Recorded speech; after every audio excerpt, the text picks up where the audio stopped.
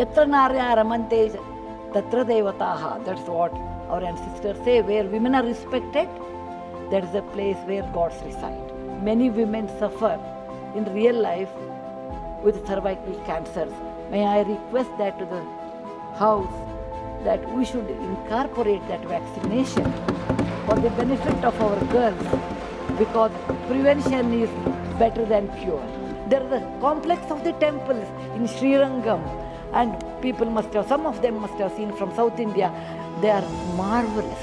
They are as good as Brihadeshwara temple of Tanjore, which is a World Heritage Site. We are in a country where there is so much diverse culture, but still we are all one, like five fingers make a mushti. We all have that, that character, which is very much Indian character, that we may differ in dress, food, language, and but we are all one. Rajya Sabha, I used to always feel lucky are those people who stay there, who go there, who can talk, who can express. I never knew one day will come to me in my life, I can stand and talk about what I believe in. Next speaker, Mrs. Sudha Murthy. This is your maiden speech, madam. Which one? Madam, this is your maiden speech. Maiden speech. Yeah. Achha. Okay, it's not maiden, so you speak.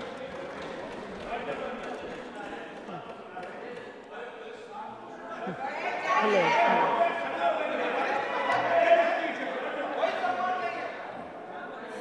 Sir, when I have to start, I don't know.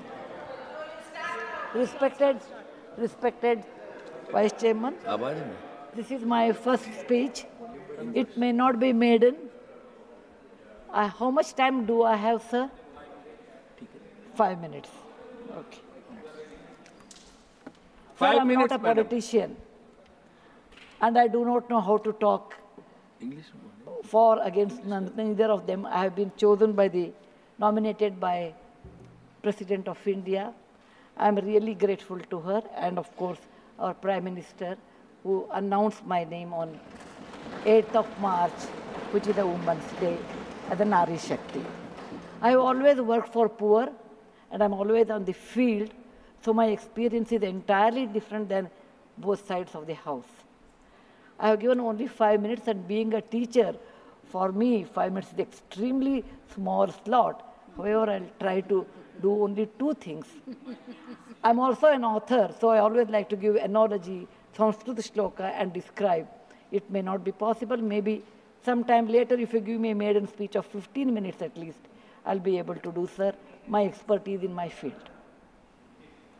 Yatra narya ramante tatra. That's what our ancestors say. Where women are respected, that is the place where gods reside. And I want to tell you the most important thing for women, women in general, is her health because she always neglects her health and takes care of the family. And because of that, many women suffer in real life with cervical cancers and they will come to the hospital only in the fourth stage or third stage. I'm being a daughter and a sister of a doctor. I'm aware of this and I've worked in my last 30 years with Infosys Foundation on this particular area and that I want to give a suggestion. There is a vaccination which is given to women, girls between the age of 9 to 14 known as the cervical vaccination which can if the girls have take, if the girls take that it can be avoided. May i request that to the house that we should incorporate that vaccination for the benefit of our girls because prevention is better than cure my father being a doctor always used to tell me when a woman dies when a mother dies in the hospital it's a count plus 1 but for the family a mother is lost forever. Maybe a man can get another wife, but children will never get another mother. Mother plays an important role, and cervical cancers are more in the later part of life. So I request that our government should look into this matter. And they have handled a very big vaccination drive during COVID, so this may not be very difficult. If you can vaccinate our girls in the teenage 9 to 14. This is my first point. Who, who has developed the vaccine? this vaccination is developed in the West for a long time, sir. It is already given for the last 20 years. I tried one batch in my time, 10 years back, with government of Tamil Nadu, with K. Shanta, the director of the Adyar Cancer Institute. It worked very well. So it is not expensive, I'm sure. Oh, know, today is 1,400 rupees for a person like us who are in the field. But if the government intervenes and negotiates, it can be, and it's any business is a win-win situation. He also should make certain money, but you can bring it to seven, eight hundred rupees. And we have such a large population, sir. It will be benefiting for our girls in future. Ashwini give- please convey it to the health minister, Naddaji. Yes, sir. The second point, which is very dear to my heart, is I'm going to talk. I may exceed one or two minutes, sir. Please, please, madam, Yeah. no problem. That is regarding tourism in India. Sir, we always think only um, Ajanta, Ellora, uh, and Taj Mahal are few things which everybody should see. That's really not true, sir. Our country is vast, and there is a very famous saying in the, you know, in, in Subhashita that says, Bahuratnani Vasundhara. Mother Earth has many, many diamonds, and we always neglect and care only for one. Similarly, in India, we have 42 World Heritage Sites, but we have 57 pending.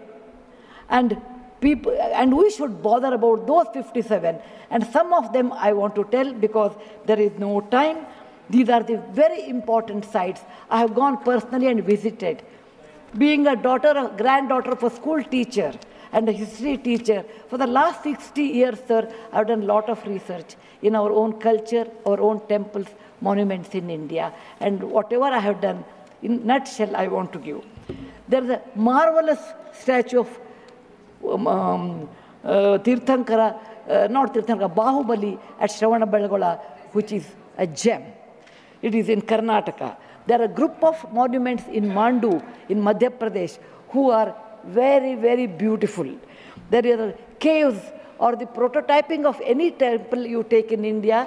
Its prototyping is done in Badami, Aihole, Pattadkallu in Karnataka, northern part of Karnataka, where I belong. I'm very proud about it. See Lingaraja temple, see any temple in India. Konark temple, everything prototyping is done in 575 AD in Karnataka. These three places which are not in World Heritage Center.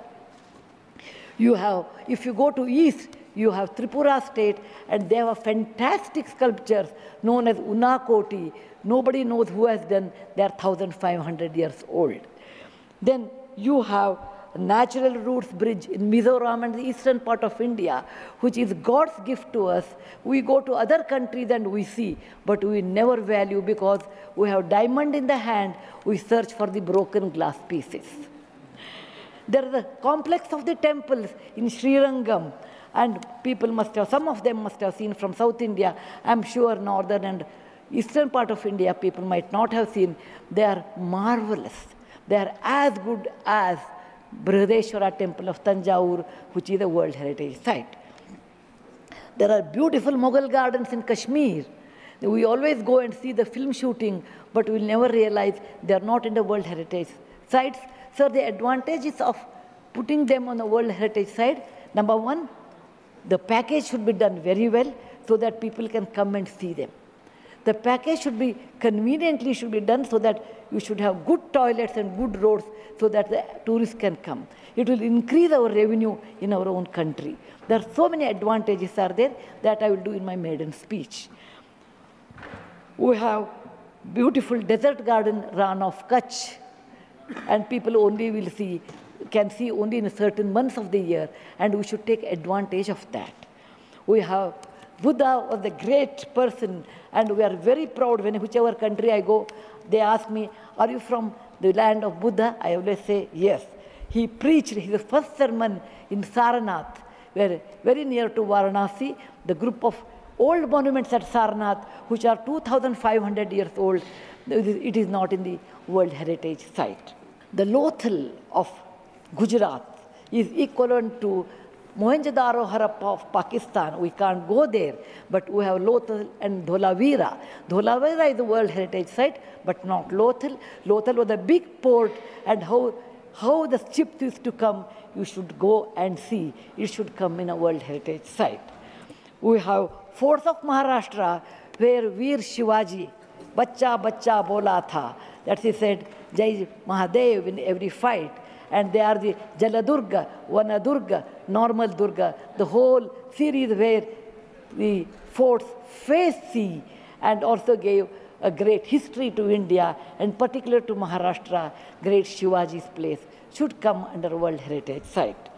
There are beautiful, there's a beautiful island on the river Brahmaputra in Assam, Majol they call, maybe my spelling may be wrong. It is Majoli, Majoli. Sir, it is, if you would have seen in some other country, they would have made it the number one destination for wedding or even for entertainment or even to go and enjoy. But 90% of the people are not even aware of this. There is a, we, when you see the old parliament, you say, oh, these people, Westerners have come and they have built this one. People from, architect from India, in UK, they came and built it. Sir, it is nothing but, if you see the prototyping of that, thousand years back, built in Madhya Pradesh, from Gwalior, 30 kilometer, it is called Mitavali. It's a Chausath Yogini temple. It's exactly the replica of that, but in a prototyping, sir. There's a Padavali and Mitavali. There's one more set of temples which were saved because of on the Chambal River because of the dacoits, but they are world-class temples. The list is unending, but I want to conclude with a famous famous Gumbaz of Karnataka, that is Gol Gumbaz. It was ruled by the Adil Shahis in, in 1400 to 1685, and it's one of the marvelous things in India has produced where you can have the echo of seven times. My list is 57, but my time is limited. So, sir, I, I, this is an opportunity. As a like young girl, I used to look at Rashtrapati Bhavan. I used to look at Rajya Sabha. I used to always feel lucky are those people who stay there, who go there, who can talk, who can express. I never knew one day will come to me in my life. I can stand and talk about what I believe in. I want to conclude with a shloka which our ancestors have taught us, or my grandfather has taught when I was young. Whatever work you do better, do it with your mind, with buddhi, and with 100% concentration. We are in a country where there is so much diverse culture, but still we are all one, like five fingers make a mushti. We all have that, that character, which is very much Indian character, that we may differ in dress, food, language, and but we are all one. I want to serve in my tenure Rajya Sabha with one single motto, Kayena Vacha, Manasendriyarva, Buddhatmajava, Prakriti Sabhavat, Karomi Yadyat, Sakalam Namasvi, Narayana Eti Samarpayami. It is not my husband Narayan Murthy, it is Narayana the God or the God whom you believe. It need not be Narayana, it could be anybody. So with a single minded, with my mind, with my buddhimatta, with my concentration with my whatever is the age i have i am 74 going to be 74 but God willing, I will put my 100% in Rajya Sabha and work. Jai Hind, Jai Bharat Mata. Thank you, madam.